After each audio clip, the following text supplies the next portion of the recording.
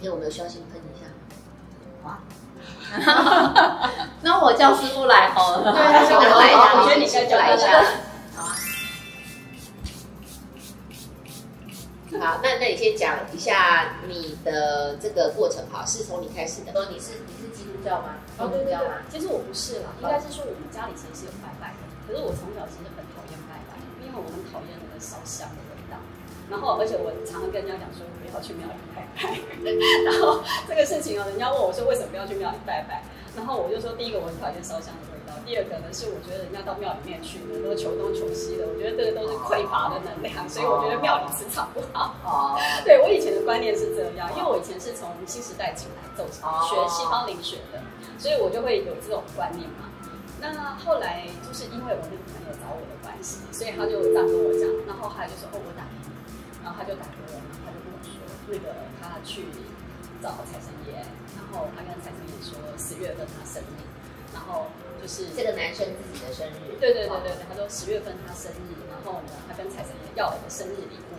然后，那个财神爷呢就说哦你要什么，然后他就跟财神爷说哦我想要一瓶那个香水，然后这样喷一喷呢，就到处那个空间就有财气，然后财神爷就说哦那你要精油吗？然后他就说哎可以啊，然后他就说那好因为那那跟财神爷怎么跟他讲话？他是通灵吗？还是对他本身是寄生，哦，他寄生，所以他他是机身他应看到财神爷跟他面对面讲话，还是他只是意念的那一个？嗯，这个我不太清楚。呃他应该灵视能力还不错，哦，就灵视的那对，看得到的那灵视能种。力。因为后来财神经我调出来的时候，他说那个配方我们不是说经过第二次解密嘛，然后第二次解密了之后呢，他就说在他手上就可以看到这一棵那个发财树。哦，他是看得到东西的。，对，他的灵视能力其实是不错的。所以他那时候就是呃，请你做这个，然后财神爷说要给他这个配方。嗯，但问题是，你怎么知道财神爷要什么配方？我不知道啊，是财神爷跟他说的吗？不是作为 A B C 不是不是，其实是财神爷给他，呃，应该是说他跟财神爷好像都是会用那种所谓的灵语啊，天语，对对对对对对，就是用那种那种沟通，就是他有时跟我说是灵雨，有时候跟我说是天雨，我也搞不懂灵雨天雨有什么差别。然后他就他就打电话，他就说哦，他说他有给我配方，我说哦好，然后我就想说，我期待他就跟我讲说啊什么一个迷迭香啊，然后加一个什么薰衣草，加一个什么东西，对，几滴这样子。然后他就说没有，你听我讲哦，你不要插嘴哦。然后我就哦，然后我本来拿了纸笔，结果我殊不知他就开始讲了一大串的那个所谓的语天语，然后讲讲讲讲。久，大概快一分钟，然后才结束。然后我就一整个很懵，我也不知道他在讲什么。他说、哦我讲完了，然后我就说，嗯，你不是要跟我讲配方吗？他说刚刚那个就是，我就说，可是听不出来是精油啊，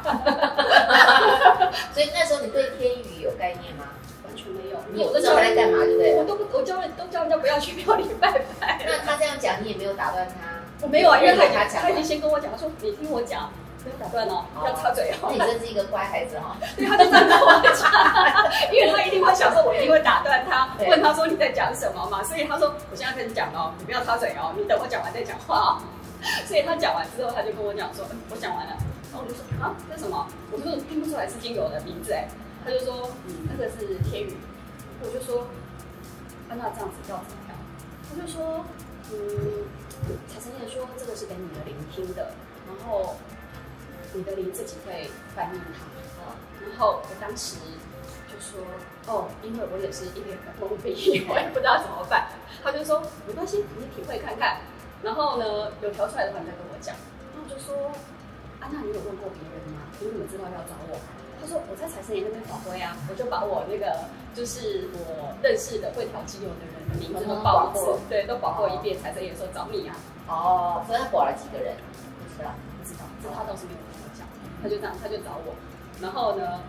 就这样子，然后电话挂了之后，我想说，嗯，这个生意大概接不成了，我就想说大概没了这样子对，然后我就算了。所以了，当下也没有拒绝他，我又听不懂他在讲什么。我就是绝他，我就只是跟他讲说，哦，好哦，我试试看吧，可是天宇要怎么写？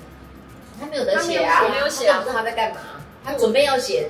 他以为他会讲出什么精油名字，但殊不知一个都没讲出来所来。以五分钟只是用听的。我就只是听到，所以他不是讲说，我我现在开始讲了哦，他说你不要插嘴哦，等我讲完再所以你的说。灵体有听到。在多我真的不知道，就很好笑笑。的灵体也一头雾水，对啊，所以我也一头雾水。所以我也不知道算不算有答应他了，因为他这样跟我讲，我只能说，好，我就说哦，不然我试试看好了。哦，我就只是这样子回答他，然后电话就挂了。因为在当时其实我跟他也不是非常熟，好，就是你朋友的朋友，他是我妹妹的哦，你妹妹的朋友。对，然后呢，后来就电话就挂了嘛，挂了之后，我心里电话挂了之后，我心里就想说，啊那这这单生意大概是做不成了，所以我就忘记这件事情了。那那时候我们不是大家都在打疫苗嘛，对，然后打疫苗的时候呢，呃，隔了几天就去打疫苗，然后去打疫苗之后呢，我就是一直睡，因为我没有什么副作用，因为很多人不是打疫苗就反应很强，对，而我是没有，因为我平常熬夜睡眠不足，所以我打疫苗之后就一直睡一直睡，然后每天就可以睡十几个小时。那后来呢，我大概睡了两天，到第二天的时候，我就睡得迷迷糊糊，反正也是又睡了十几个小时，然后我就起来上厕所，然后上完厕所之后，我就经过我家那个精油柜，然后我就看了一下，我就不知道为什么，我就反正已经睡昏了，我就拿了大概十瓶精油出来，然后我就放在桌上，但是因为真的睡得很昏，所以我就又爬回床上去睡，然后后来又睡了大概七八个小时，所以这种也有算是疫苗的那个啦，疫后的一些状况，就打针的还是有啦，就是有的人是嗜睡，哦，嗜睡也所以是有，有的人是嗜睡，因为他身体要修复嘛，或者他需要对抗的病，只是你可能反应没那么大，你就是身你自然去睡觉，但很多人要上班不能睡啊，对对对所以他就觉得很不舒服，哦，有办法对有可能，有抗可能，对，因为我就是每天那时候每天都睡十六七个小时嘛，然后后来我就反正就这样，我就又跑回去睡，然后又睡了大概七八个小时之后呢，到第三天差不多那个药效退了，退了之后呢，我就醒过来，我就在回想，哎，我这两三天前我的那个工作到底做到哪里？所以我就在回想说，我就看到桌上只有一堆那个被我拿出来的精油就放在桌上，然后后来我就想说，嗯，所以你那时候拿了那个是 T 档，对不对？啊啊，真不晓得，真的是睡昏头了，已经睡了两天了。然后呢，我就我就想说，看一下，我就说，难道这个是要给我调财神精油的吗？所以你平常也会呃，就是以前在接别的精油的案子的时候，你也会这种就是无意识的抓一堆吗？其实比较不会，因为以前比较是用我的理性，用我的专业的，应该这样讲。因为我是台湾最早一批拿到芳疗师认证，就是那时候大概二零零六年啊，台湾都没有多少人知道 IFA，但是我是台湾二零快二十年了，十七年的，对对对。是就你十九年了，二零对我二零零六年就拿到 IFA 的那个芳疗师认证，所以我算是台湾最早一批，应该应该前三十个，我觉得应该有。所以你不会用直觉去调精油，对不对？你会用专业，呃，也会用直觉，也会用直觉，但我的直觉方式是，我还是是把它味道拿起来闻闻看，然后就是看它的思那个考一下，对，就是看它的那个气味的融合度。那其实比较特别的是呢，我就想说，嗯，好吧，那就这几瓶我调调看好了。那我那时候当时看我约莫记了大概有十瓶左右。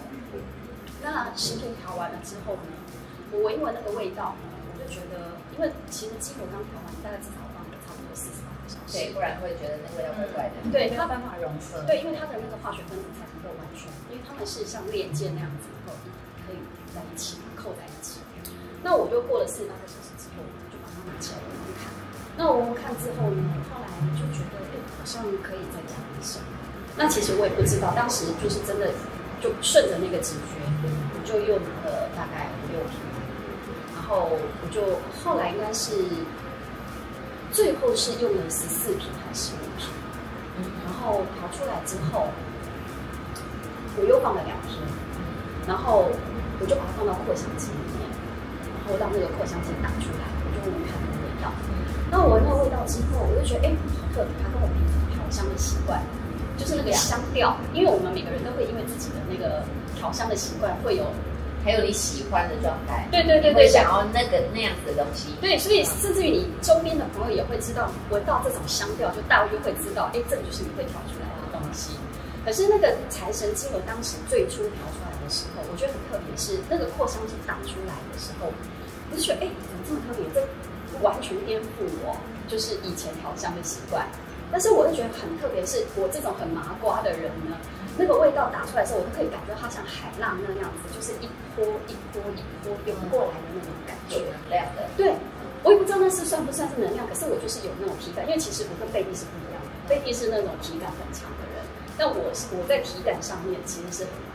的，所以我都会觉得说，因为我是嗅觉比较灵敏，哦，对，但是我不会像他对那种能量的波动是有敏就感，每个人他能力不太一样。对我是我是对嗅觉的敏锐度比较高，那所以我就觉得，哎，好特别，为什么竟然有那种像海浪一样这样一波一波一波打过来那种感觉？那我就想说，那就这样，因为我也你也不知道他要干嘛，对，我也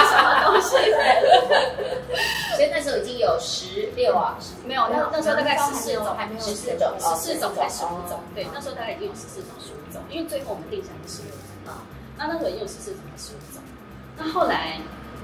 我就把东西寄给他，我就联络他嘛，就跟他说，哎，你要的东西呢，我帮你联出来啊，但是我不知道对不对，所以呢，你就试试看嘛。他如果不对呢，也没办法了，就这样子，我就这样跟他说。了，对我都已经梦游披胆，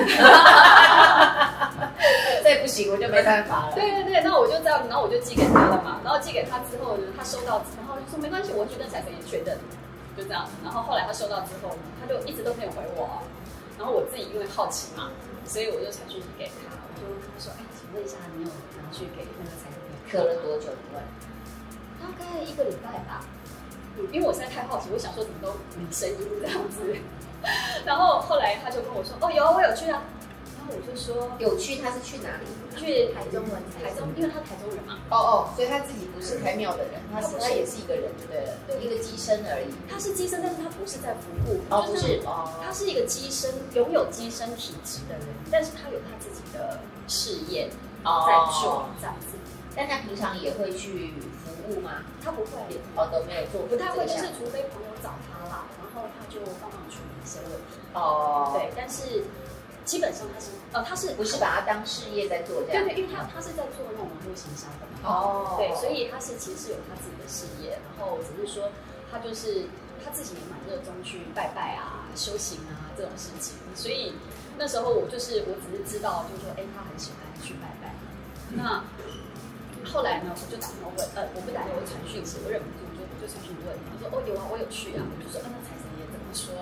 他就说，哦，财神爷说，基本上有百分之九十呢，就是跟他的那个配方呢吻合度是差不多了。然后我就说，那你有问他差的那百分之十差在哪里？就说，呃，没问啊，因为他说这已经有招财的能力啊，啊这样就好了，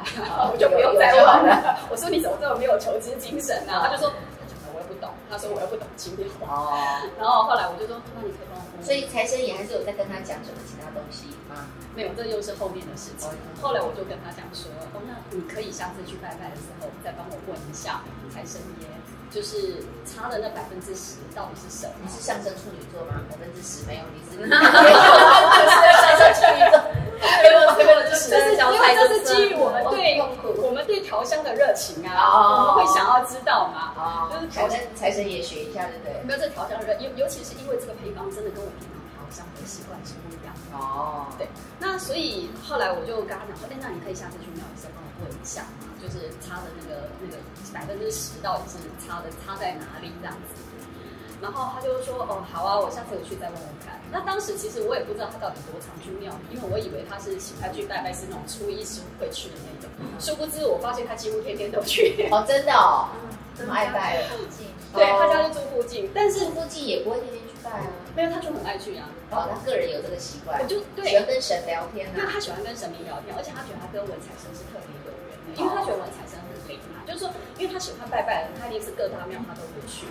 可是他会觉得，就是说他的生命当中有好几件事情呢，是他去找那个文财神的时候，他觉得是那个文财神讲的是最准的，哦，所以他可能也是一个很认真在做事情的人啊，哈，所以文财神也会特别帮忙他。对对对，那可能他们也是有有一些这个修行上面的因缘嘛，所以他后来就是三天两头的就往那边跑。我后来才知道，他就真的是几乎天天都去。但是因为我后来又碰到他，已经就是一个月后的事情，因为刚好一个月，后来就是那时候已经又十一月、十二月了嘛。然后他是一月份的时候，他就刚好上来台北，他就开一个那个网络营销的课程，就讲座，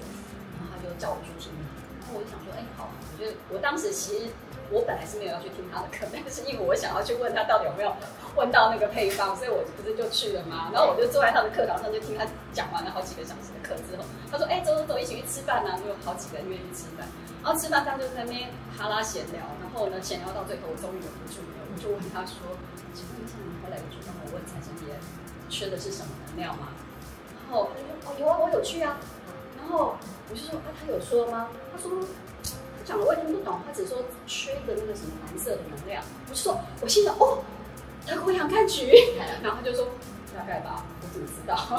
然后我心里就我就一直记在心，所以那顿饭我就匆匆忙忙吃完之后，我就哎，我要先回家了。然后回家就很开心，因为我就有一些留底的嘛。然后我就把我们家那德国洋甘菊拿出来要倒下去。然后我当时就在要在算那个比例的时候，我就在想说，这个德国洋甘菊这个味道，因为德国洋甘菊其实有一点那种药水的味道，它那个偏难听，有时候会觉得有一点脚臭的味道。哎，对，比较浓一点的话，因为每一批不太一样。如果雨水比较重一点的时候，因为那个是跟雨水湿气是有关的，哦，所以如果雨水比较重的时候呢，它就会有脚臭的味道，类似像脚臭。啊，平常它是没有那个东西，平常没有，哦，比较比较轻，对不对？对对，平常会比较轻一点。然后其实如果你买到产地好的呢，它其实还会带有甜味。哦，嗯。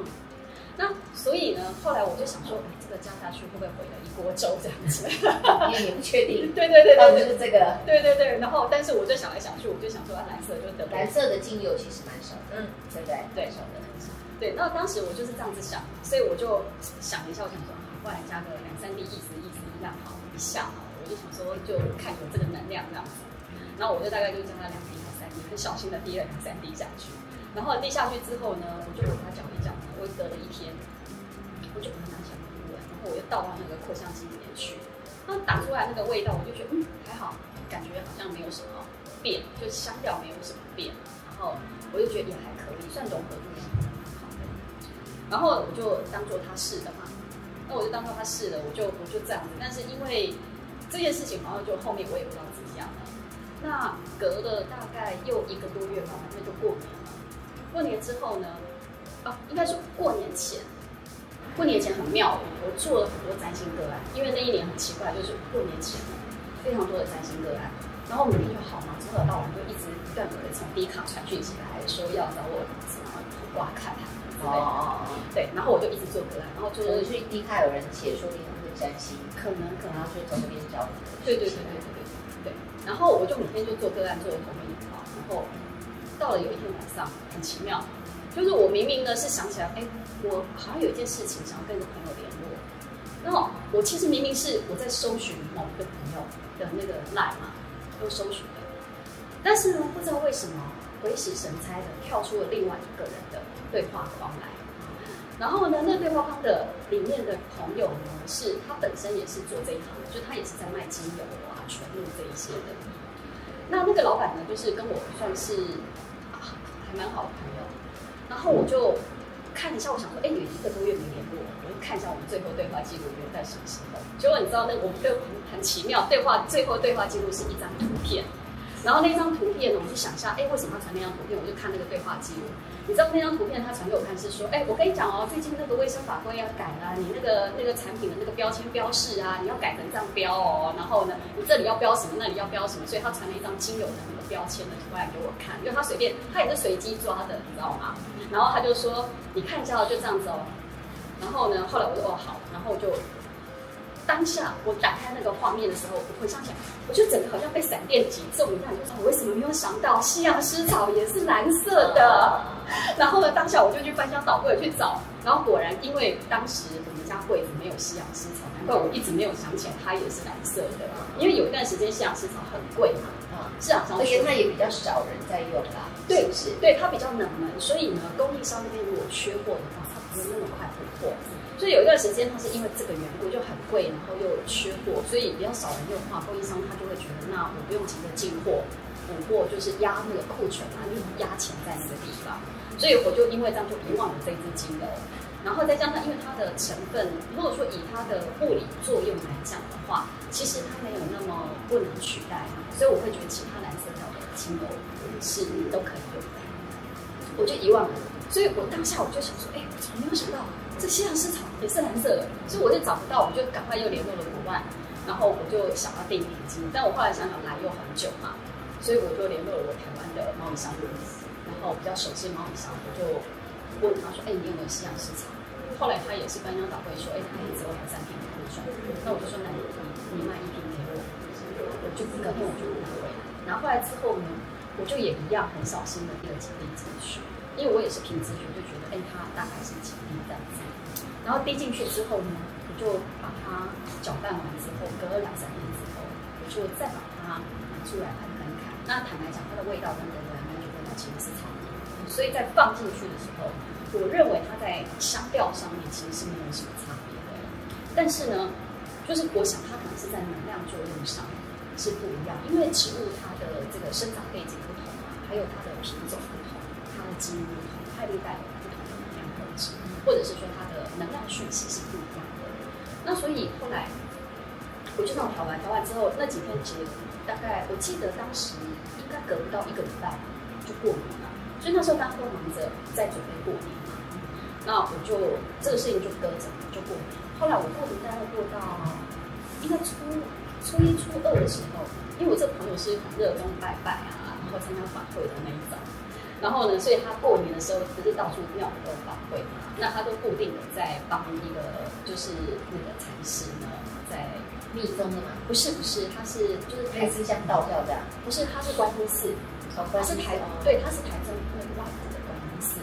然后他就是有一个有一个那个观世音菩萨的那个大法师，他每年都会办那个过年的庆祝法会，那他就是在那边当职工，所以他就传了那个 Google 表单给我，就跟你说，哎，你过年要不要来参加那个法会？然后我看了一下那个法会，什么观世音菩萨法会啊，然后要念什么什么什么什么这样子，我就看了，我就很不想去，然后他就一直你不知道我是拜拜的？对，然后他就他就一直一直鼓吹我去，你知道吗？然后我看了一下，我就想说这个外埔观音寺，我就想交通那么不方便，然后我就一直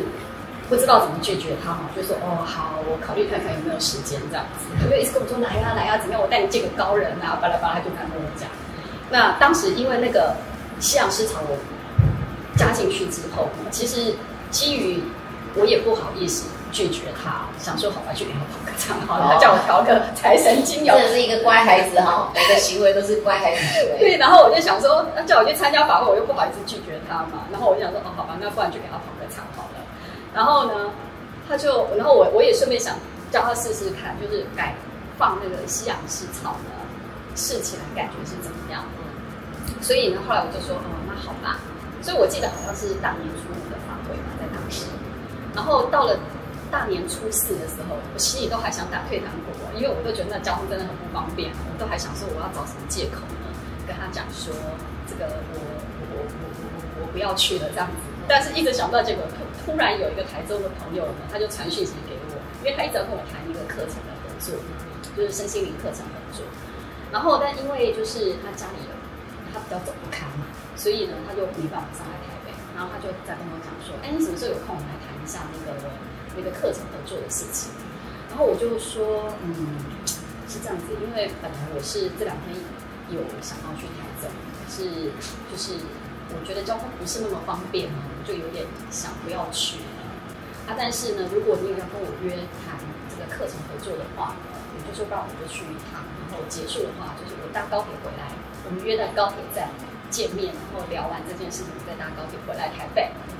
然后呢，他就问我说：“好、啊，你要约几点？”啊，因为我也没有参加过法会啊，所以呢，我也不知道几点会结束。最后呢，我就觉得很丢脸、很羞耻，的把那个法会的 Google 表单传给他看，然后呢，跟他讲说：“嗯，那个是这样子，因为我要去参加一个法会，所以我也不知道到底是几点会结束，所以我一直没办法跟你讲几点。”然后他就说。看了之后就说哦，我就载你啊。他说我跟你去啊，我帮我帮我妈妈祈福啊。然后我就说哦，真的吗？他说对啊对啊。一个女生对不对？对对对对对，他就这样跟我讲。然后我就说哦好啊。然后就因为这样子，就变成有人载我去。那我不是就去了嘛？我去到那个庙里面，我第一件事就把那个精油拿出来给他。然后我就说，就加了西洋蓍草的，没有加洋甘菊的。对对对对对。然后呢，就是因为那个洋甘菊是在我第一版给他之后呢，然后加了湿草中间，但是他始终没有接到，就是没有接触到那个加了洋甘菊的那一版，哦因为我们中间对，因为我们中间没有碰到面嘛，啊对，那所以呢很好笑，然后我就后来换成西洋湿草之后呢，我就进了那个庙里面之后，我第一件事情就把那个精油拿出来给他喷，然后就拿出来，他就在手上一喷，